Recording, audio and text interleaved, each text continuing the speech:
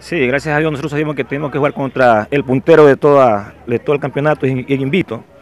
Entonces trabajamos para eso y gracias a Dios nos quedamos con los tres puntos aquí en casa. Técnico que debuta, técnico que gana. Así, así, así es el buen dicho yo, y hoy me tocó seguir con ese buen dicho que técnico que debuta gana. Hoy aquí se quedamos los tres puntos en casa. Hoy se le quitó el invicto a Orense, ustedes ahora están con siete puntos. Sí, hay que seguir trabajando. Nosotros sabemos que Orense venía invicto en todo, en todo el campeonato, un equipo duro, pero bueno, son 11 contra 11 en campo de juego y hoy se reflejó el trabajo de la semana. ¿En qué se basa ahora el juego? Han levantado mucho los jugadores de cantera y aquí de local, ahora son punteros.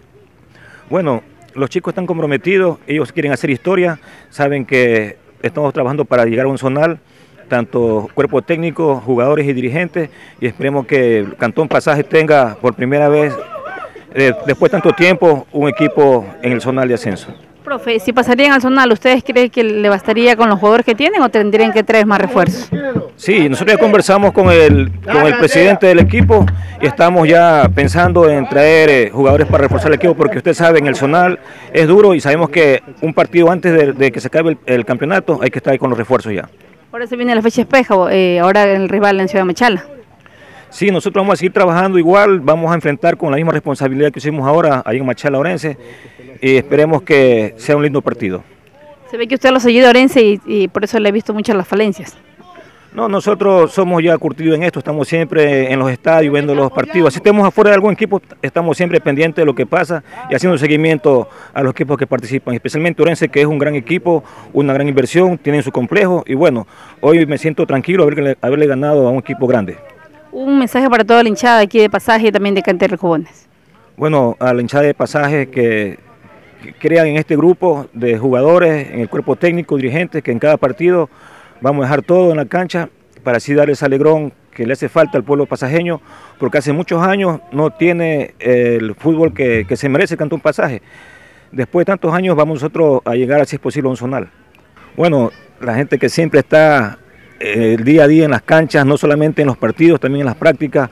Un saludo para todos los seguidores de Salcero. Bueno, eh, el análisis que tengo metido en la cabeza es que nos enfrentamos a un equipo eh, que juega igual que nosotros, un equipo que nos jugó a punte pelotazo, eh, prácticamente dominamos todo el partido, pero aquí en el fútbol siempre gana el que yo creo que eso hoy día no estuvimos fino en la puntería y bueno, lo bonito del fútbol es que la próxima semana nos encontramos en marcha y vamos a ver.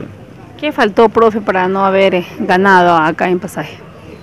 Un poquito de pronto de coordinación de los dos centrales, prácticamente los, centrales me regalan los dos goles, unas pelotas pelotas eh, completamente solos para jugar tranquilamente, pero bueno, primer tiempo por ahí la quisieron bajar de pecho y por ahí chocó con otro compañero y el segundo gol fue un choque nuevamente de ellos dos.